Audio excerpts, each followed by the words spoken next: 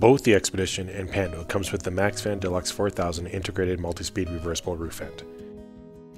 If you prefer to have a thermostat, electric lift, and remote, then you can opt in for the optional MaxxFan Deluxe 7500.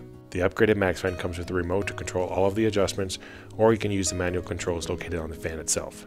You can turn the fan off and on by pressing this button, and then control the direction of the fan to either pull air in or push air out of the sleeping area by pushing this button. Press the plus or minus button to control the speed of the fan, and finally, you can press and hold this button to set the thermostat to 78 degrees. The remote works the same way, but you have a digital display and more control over the thermostat. At the top of the screen, you have the room temperature, and next to that is the thermostat temperature. This shows you the speed of the fan and what direction the air is being pulled, and all of the buttons on the remote are pretty straightforward and easy to understand.